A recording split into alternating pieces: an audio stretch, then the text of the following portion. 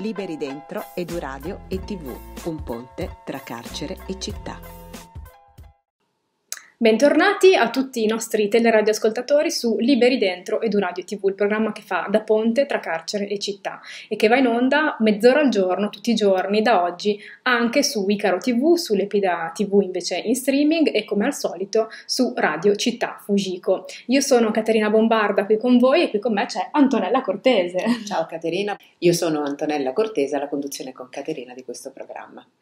Ma vi raccontiamo innanzitutto che cos'è il nostro programma, perché questa è una trasmissione, come vi dicevo all'inizio, che fa da ponte tra carcere e città e che ormai da due anni va in onda tutti i giorni in maniera continuativa per non lasciare abbandonato il carcere, soprattutto per raccontare il carcere alla città e la città al carcere, perché sì, sono tante anche le, eh, le, le istituzioni, i volontari, le associazioni che entrano e fanno attività. Quindi Eduradio è un progetto che nasce ad aprile 2020, attraverso TV e radio si è posto accanto alle persone recluse perché per loro è stato molto più pesante l'effetto della pandemia e tuttora vediamo anche in seguito alle restrizioni il Covid ha chiuso il carcere altre volte durante questi mesi e per questo Eduradio nasce come rete bolognese composta da volontari, insegnanti del carcere, operatori spirituali e sociali uniti per mantenere vicinanza e informazione dal e al carcere e alla cittadinanza attraverso questo programma radio-televisivo. Ma non è finita qui perché dopo la fase sperimentale del 2020 finalmente la trasmissione è ripartita proprio nel gennaio dello scorso anno in collaborazione con ASP Città di Bologna e con ASL Emilia Romagna con un palinsesto davvero ricchissimo che si aggiunge sempre, si rinnova ogni volta di eh, mezz'ora al giorno proponendosi come servizio sociale e sanitario per il carcere e la città. Eh, Caterina, però vogliamo aggiungere anche che è una trasmissione innovativa che ha ricevuto attenzione un po' da, da, tutti, diciamo che è anche un po' inedita, no? Perché è il primo programma in Italia che fa da ponte tra carcere e città. Come dicevi, nato nel periodo della pandemia, però in realtà ci sono precedenti importanti anche all'estero. Eh, pensiamo per esempio al caso inglese di Prison Radio Association, che è un ente di beneficenza britannico che gestisce la radio che si chiama National Prison Radio, una stazione radio che trasmette programmi realizzati dai detenuti e per i detenuti in oltre 100 prigioni del Regno Unito. Ed è la prima stazione radio nazionale al mondo nel suo genere eh, ma ormai sempre di più ci sono realtà che un po' la emulano, no? anche in Italia, ne stiamo scoprendo tante per fortuna e noi invece cerchiamo di, di creare un po' un'osmosi eh, tra il dentro e il fuori e quindi cerchiamo di far uscire fuori quello che c'è dentro e far entrare dentro quello che c'è fuori, no Caterina? È vero, è vero, abbiamo conosciuto sempre più realtà che fanno eh, trasmissione radiofonica all'interno del carcere, noi cerchiamo di creare questa osmosi e sui momenti forti, tra l'altro Antonella, mi viene in mente una foto che potete vedere in questo momento, la riconoscete, c'è il presidente Sergio Mattarella in visita a Bologna nel 2020 in occasione della commemorazione della strage di Bologna, che ha proprio incontrato noi della redazione di Liberi Dentro e Radio TV, quindi un'occasione anche di scambio istituzionale che non scorderemo mai. Caterina, senti, abbiamo fatto vedere quello che è stato, oggi che cosa continuiamo ad essere e come ci rappresentiamo per chi ancora non ci conoscesse. Allora, ad oggi l'esperienza di Liberi Dentro du Radio è parte di Insight, dell'associazione Insight di Bologna, associazione di centro studi, ricerca e formazione, ed è resa possibile al, grazie al concorrere di tanti soggetti istituzionali, tra cui l'ASP Città di Bologna e ovviamente l'ASL Città di Bologna, ma tante altre associazioni, penso per esempio anche ad Associazione Antigone, Ristretti Orizzonti, su cui trasmettiamo sempre la nostra newsletter, e tutte le associazioni di, te- di teatro, di cucina, il FOMAL, tutte quelle associazioni che ci hanno accompagnato fino a questo momento. Eh sì, ci sono anche associazioni che in effetti eh, sono fuori regione, mi viene in mente per esempio la Fondazione Casillo, che ha mostrato molto interesse ed è una fondazione pugliese, e poi c'è l'aiuto dei grandi saggi, come li chiamiamo noi, noi nostri consiglieri, vogliamo citare eh, Ignazio De Francesco, islamologo, volontario AVOC, quindi con una grande esperienza di carcere, Teresa Marzocchi, che per anni è stata assessora al welfare del comune di Bologna e eh, last but not least, come direbbe lui, che ha lavorato tantissimo negli Stati Uniti, Paolo Aleotti che eh, ci fa da consulente di redazione. E, e poi, come hai citato tu, ci sono ASP e ASL che sono i nostri partner istituzionali. Senza dimenticare che insieme a noi due c'è dietro le quinte il nostro tecnico al montaggio Enea Flacco, che ringraziamo sempre, e la nostra tirocinante Diana Botta. Quindi EduRadio è anche un'occasione per allargare eh, opportunità di collaborare con noi anche a persone giovani che vogliono sperimentarsi. Certo. Eh, aggiungerei anche che il garante regionale e comunale dei, dei, diritti delle persone prive della libertà personale fanno parte della nostra rete e ovviamente c'è il vastissimo numero di, di reti e associazioni che ha citato prima Antonella. Poi ci sono le associazioni di volontariato che non vogliamo mai dimenticare, ci sono il Pogeschi per il carcere e AVOC per il carcere, che è l'associazione volontari per il carcere di cui anche Antonella è una new entry. Esattamente, anch'io ci sono entrata. E, e, quindi siamo tantissimi e abbiamo proprio voglia di raccontarvi e raccontare il carcere attraverso queste puntate nuove su Icaro TV. Seguiteci perché questa è la prima, ma ne seguiranno tante altre.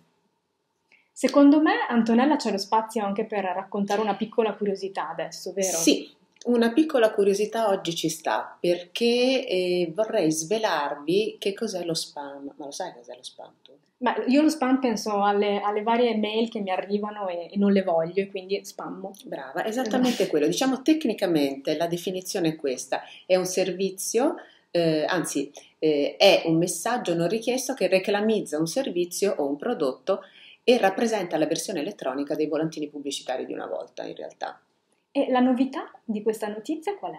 È la sua derivazione, mm. perché nel 1937, mentre eh, gli Stati Uniti erano ancora alle prese con la più grande depressione della propria storia, un dirigente di uno stabilimento che produceva carne in Minnesota ebbe un'idea che avrebbe permesso a milioni di, di, americani di comprare cibo a basso costo, nutriente e insomma di riuscire anche a non far licenziare i tanti operai che lavoravano per l'azienda. Così si pensò di prendere eh, le parti meno pregiate del maiale e di insaporirle con un po' di spezie, un po' di cose varie che non, non conosco bene e di vendere tutto in una scatola. E l'azienda era la Hormel e il prodotto fu chiamato proprio spam o se lo vogliamo dire all'americana spam. Comunque è la fusione di spiced, cioè speziato, e ham prosciutto. Poi mi dirai come è andata avanti la storia. È andata avanti che quattro anni dopo eh, gli Stati Uniti entrarono in guerra e il governo che aveva bisogno di cibi facili ma anche trasportabili, conservabili, bussò alla porta della Hormel e la carne spam o spam diventò il fulcro della dieta delle truppe, delle truppe al fronte, che però rimasero anche un po' traumatizzate in seguito perché quando mangiavano la carne spam ricordavano la guerra e, e, quindi insomma era un po' associata ai brutti ricordi nell'ultimo periodo. Ma raccontaci qual è il nesso con la posta elettronica. Sì, eh, anni dopo quel prodotto eh, ispirò uno sketch molto divertente che adesso sta per scorrere sicuramente che si chiama che è quello dei Monty Python un gruppo comico britannico attivo principalmente dal 69 all'83 spam appunto ambientato in un bar dove si servono solo piatti che contengono spam e da lì in poi arrivò l'idea di chiamare spam anche i messaggi di posta elettronica indesiderata.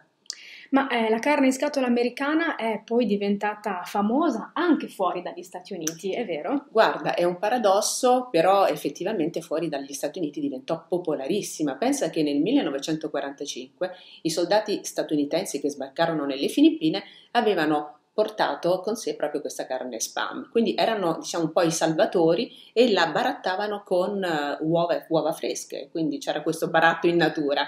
Ai filippini piacque e in quel momento, in quel contesto storico, diventò una sorta di simbolo della libertà conquistata, un po' come da noi la cioccolata degli americani del fine guerra, no? Un po' l'idea è questa. Pensa che nella cultura nazionale filippina, come anche quella dei territori di Guam e delle Hawaii, c'è proprio questa presenza della spam e migliaia di filippini che vivono negli Stati Uniti visitano in Minnesota, ad Austin, il, il, il museo della spam. E quindi con questa notizia, perché ci rivediamo anche domani, ma adesso c'è l'ospite della nostra puntata, il primo ospite della settimana, lei è Silvia Furfaro eh, del centro documentazione L'altro diritto.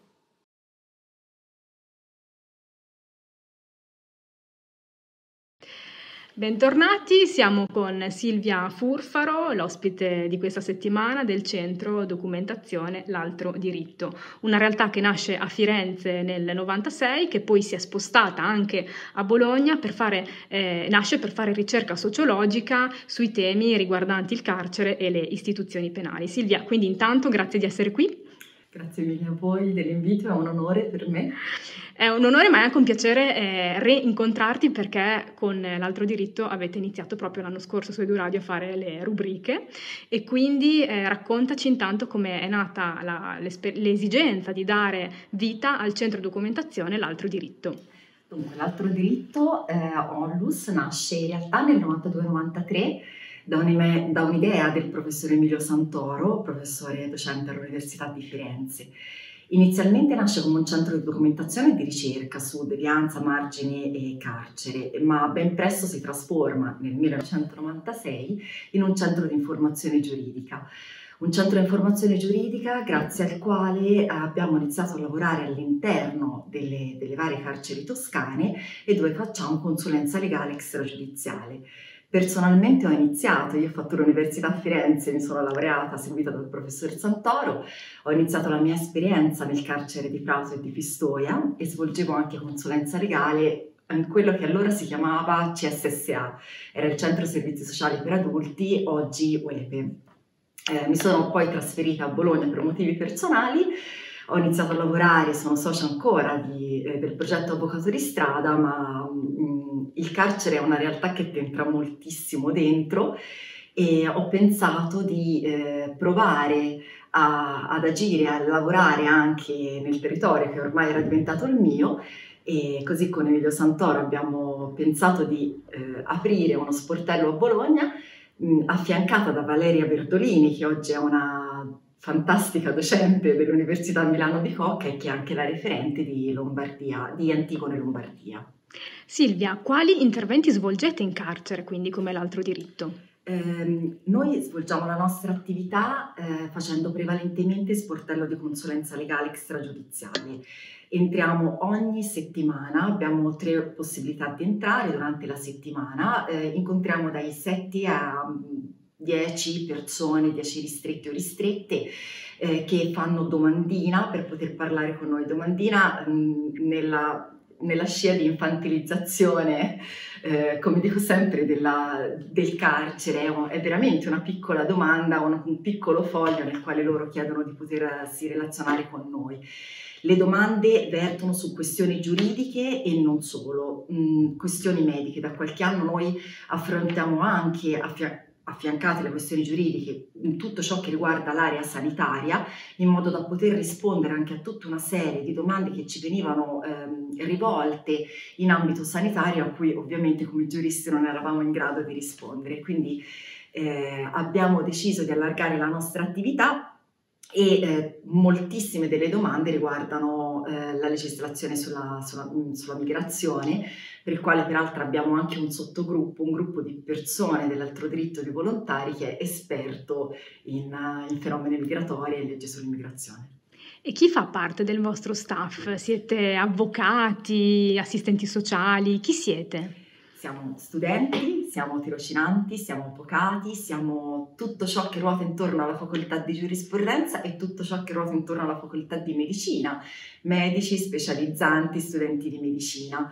Ehm, si mm, restringe a queste due realtà, giurisprudenza e medicina, perché dobbiamo ovviamente offrire un servizio che abbia un minimo di qualità e quindi cerchiamo insomma di, eh, di rispondere alle domande effettive che ci vengono fatte in maniera competente e professionale.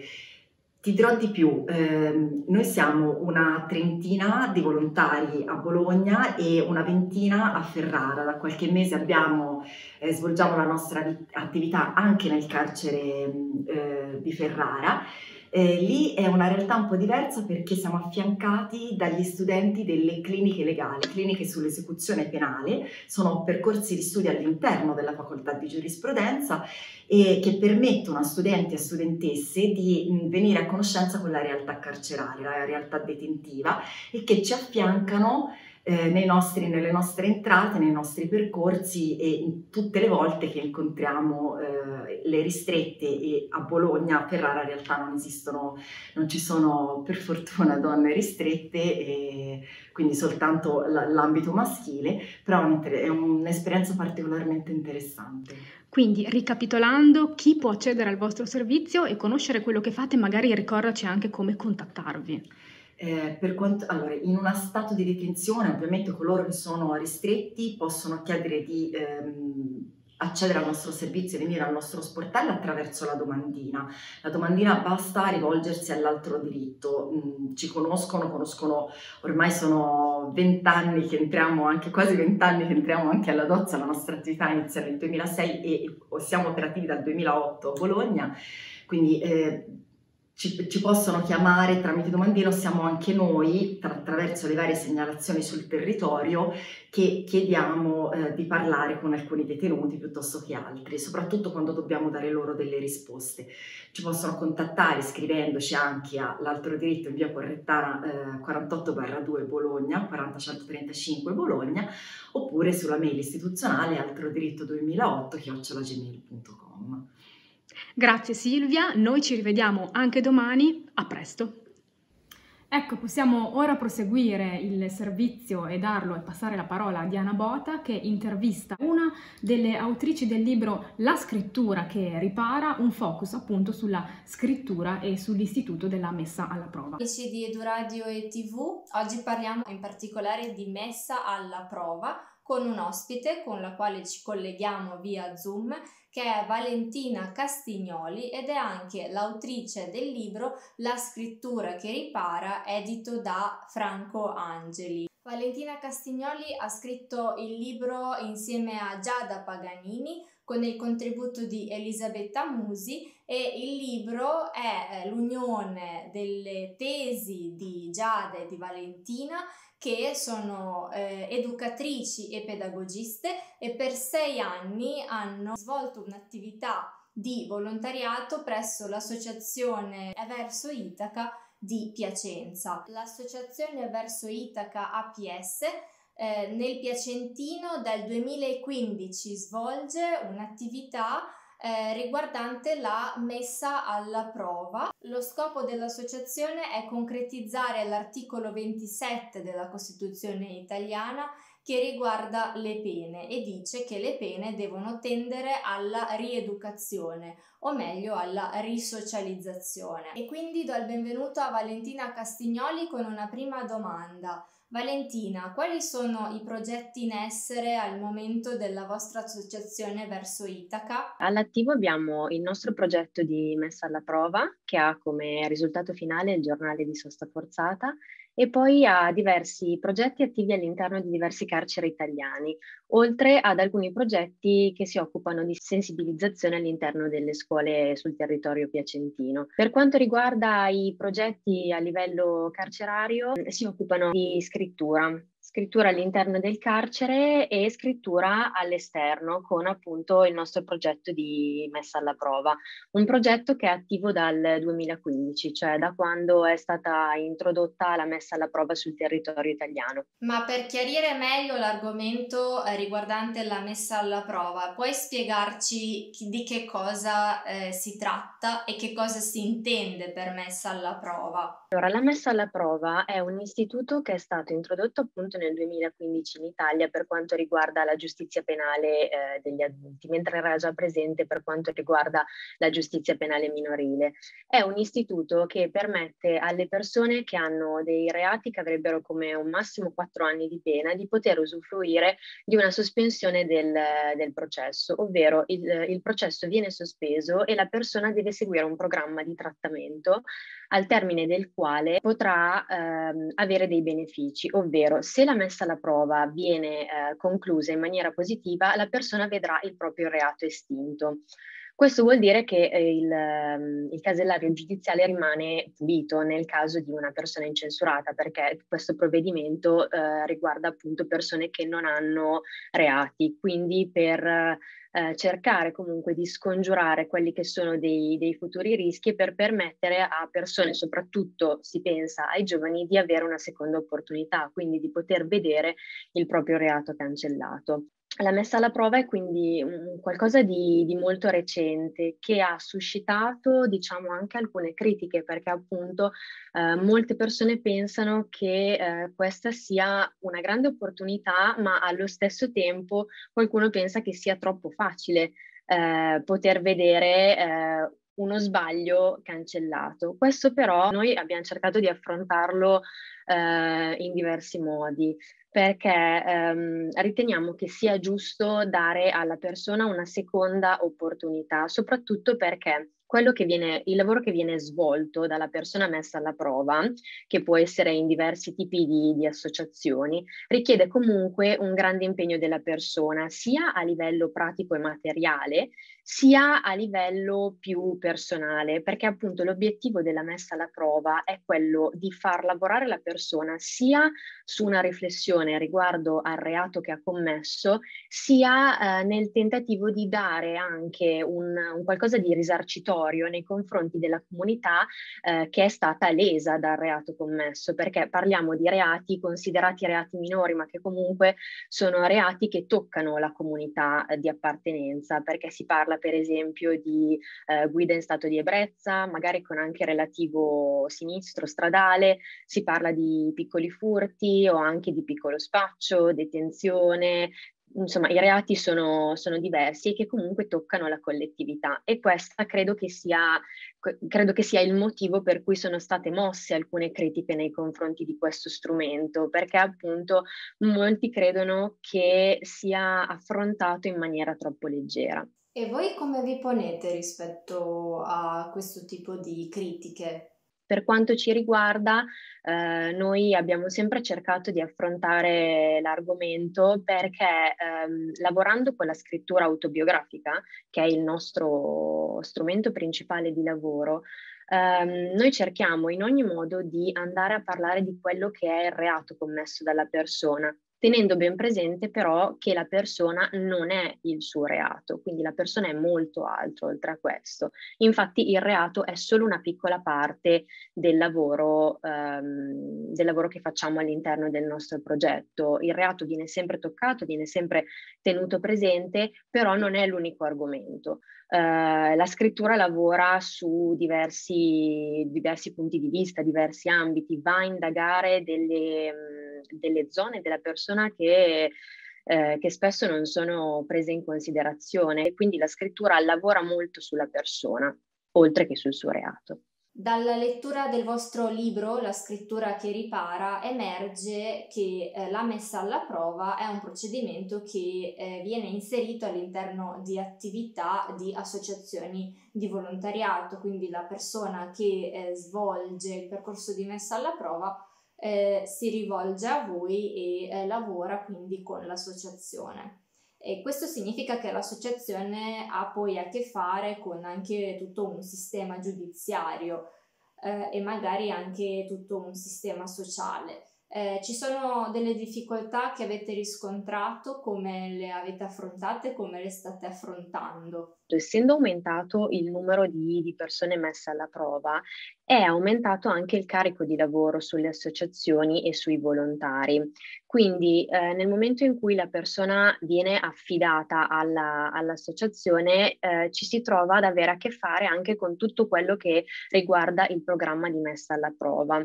Eh, la difficoltà sta nel fatto che essendo aumentati molto i numeri, ha aumentato anche il carico di lavoro delle assistenti sociali che faticano non lo nascondono neanche loro, a eh, seguire questo, questo, grande numero di persone. Ed è una nostra difficoltà anche nel momento in cui la persona arriva all'interno del, dell'associazione, perché nel corso degli anni abbiamo visto come le messe alla prova siano anche diverse tra di loro, ovvero mi spiego meglio, confrontando i vari programmi che, che arrivano, che visioniamo prima di, di, accettare la persona all'interno del, del gruppo, abbiamo visto come i giudici nel redigere il, il, programma, per esempio, facciano delle specifiche diverse riguardo a quello che è la durata del programma, ovvero alcune persone hanno questo programma redatto in numero di volte, alcune persone lo hanno in numero di ore, altre persone lo hanno in settimane, alcuni in mesi ed altri in anni. Quindi diventa difficile anche banalmente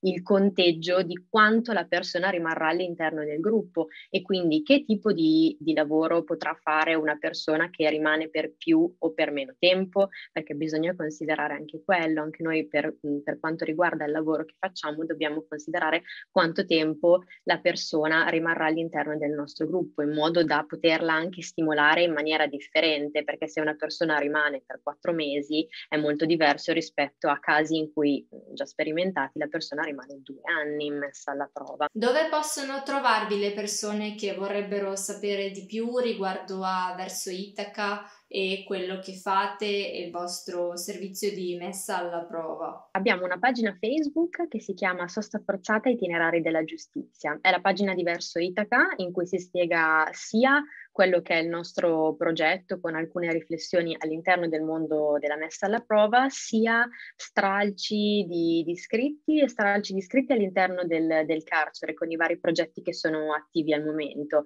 eh, ad esempio all'interno del carcere di Opera, il carcere di Bollate, alcuni carceri del sud. Eh, diciamo che questo è il canale principale verso Itaca PS e sosta forzata itinerari della giustizia.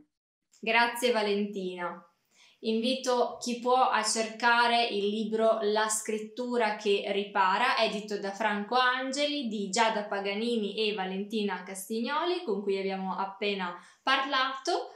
Saluto tutte le persone ristrette delle case circondariali dell'Emilia Romagna e del carcere Dozza di Bologna. Alla prossima! E rieccoci, siamo giunti ai saluti di fine puntata, vi ricordiamo di iscriverci, redazione liberi dentro, chiocciolagmail.com e come sempre un saluto da me che sono Caterina, Enea Flacco, Diana Bota, Antonella Cortese e Paola Leotti. Ci rivediamo domani sempre con Antonella Cortese per la nostra rassegna stampa ragionata tra le notizie che parlano di carcere e non solo, ma anche di cittadinanza e di cultura. Grazie e a domani.